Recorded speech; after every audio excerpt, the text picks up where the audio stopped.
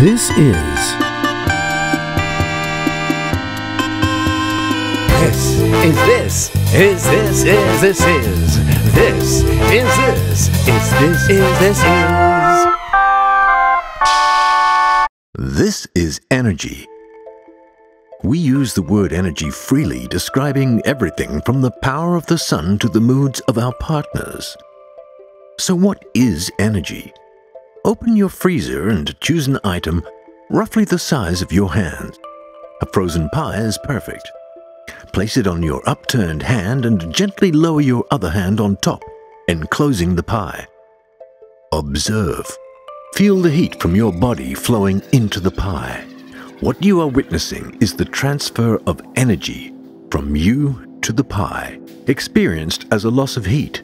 Your supply of energy is, in fact, finite, and to replace it, you will eventually have to eat the pie. Welcome to the cycle of energy. Another energy occurs at social gatherings, where expressions like positive and negative energy are often heard. As we now know, there is no such thing as positive or negative energy, only energy itself, flowing from the hot to the cold. Remember that next time you sense someone having negative energy and remind yourself they're just cold. Another popular form of energy is known as surplus energy, or the human condition known as too much energy, where a subject has more energy than a set of circumstances requires. And then there are the moral energies. Good energy and bad energy are popular notions used to describe mood swings caused by the presence of others. Can we measure morality in physics? The answer is yes. By simply asking subjects, we can easily plot their response on a graph whose axes are good energy and bad energy.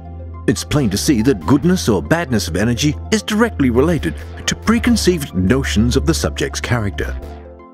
Research shows that abundance of bad energy usually results in an improvement in friend selection, while good energy tends to reinforce relationships already in place. How's that for science? Thank you, energy.